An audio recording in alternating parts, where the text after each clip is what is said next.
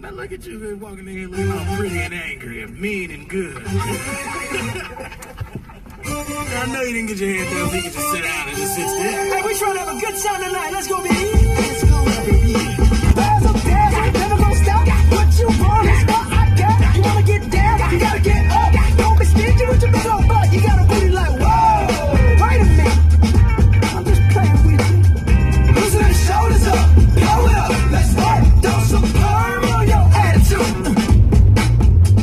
relax.